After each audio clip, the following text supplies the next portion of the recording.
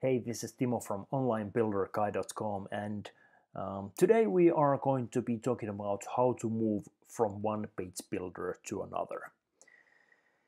Now, I still haven't made any final decisions, but I might be moving from Thrive Architect to Elementor Pro. But what I realize is that I just can't turn off uh, Thrive Architect and continue using Elementor Pro starting from today. Uh, and here is what would happen if I would do that. So here uh, I have a very simple blog post that I have created with Thrive Architect. Uh, don't pay attention to these social sharing buttons. They are uh, provided by a separate uh, social media plugin. But pay attention to this very simple structure. I have this three column layout here, and then I have a star rating here. And this, this column layout and this star rating is actually provided by Thrive Architect. I have built this page by using Thrive Architect's uh, out-of-the-box components that you can find in that plugin. Now, if I go to plugins and click deactivate. Let me just turn off Thrive Architect and let me just reload uh, the page again. You will notice that even with a page this simple, uh, the column layout is gone. You have this call 1, call 2, call 3 sitting on top of each other um, and the star rating is gone. Now consider the situation that you have tens or even hundreds of pages that you have built with with your current page builder. Like in my situation, onlinebuilderguy.com has approximately 40 blog posts plus some other content that I have created with Thrive Architect. And if I just turned off Thrive Architect and started using Elementor, all the posts all the content that I have created with Thrive Architect would look very weird, very funny. So why would I do this in the first place? What's what's the catch here? Well, obviously, I would like to use only one page builder.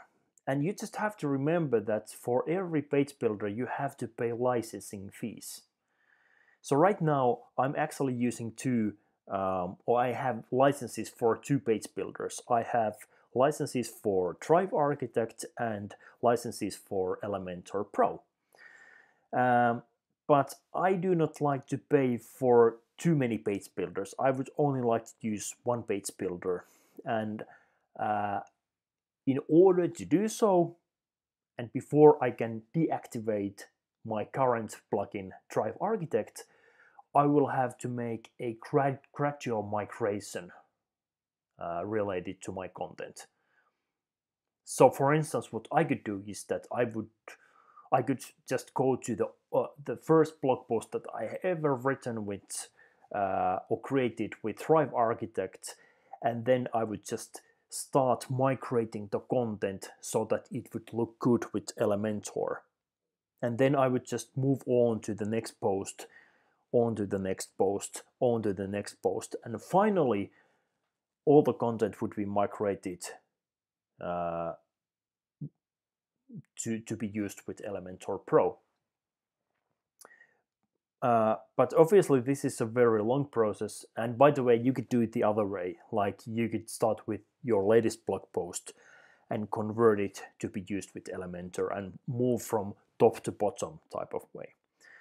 But as you realize that there is a lot of work involved, obviously the best solution would be that um, you could just hand over this big task for someone else and then someone else would you know do this migration for you but it will cost money. And if you you just can't do that like for instance i'm in a situation where i just can't do that because i do not have the budget to do so. So i will just I will just have to live with this situation. I will just have to have these two plugins uh, existing on my WordPress installation at the same time. Uh, they do work together and that's totally good. That's good news. Let me just activate um, Elementor again and show you what I mean. And let me just make sure that Thrive Architect is also activated.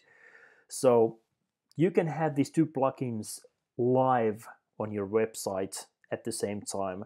But you will notice that as soon as you start creating a new blog post or page, that you have these two page builder buttons uh, sitting at the top of the page when you are creating uh, creating a new post. Uh, you have Edit with Elementor and you have Launch Thrive Architect buttons. So the choice is really yours. Um, if you decide to migrate the content yourself, uh, it is going to take a lot of time, uh, but you can also hand over this big task and this of, of course depends how much content you have on your site for someone else. Uh, and finally, when you have migrated the content from one page builder to another, then you can turn off the old page builder plugin and and the next time they ask you to renew the license for the product, you can say that no, no thanks, I'm not using your product anymore and I'm just focusing on this one product. So that's what I wanted to talk to you about. Uh, this is a very important topic. Uh, I don't think that too many people understand this. Um, I didn't understand this when I started using Thrive Architect, but this is really the case that you have to face uh, when you migrate from one builder to another. Obviously, the best ideal in an ideal world, you would be using just one product as long as you are blogging or building websites, but this may not be the case. So just wanted to bring this up so that you know what is going on. Anyways, that's the topic for today, and, and I will get back to you soon. Bye bye.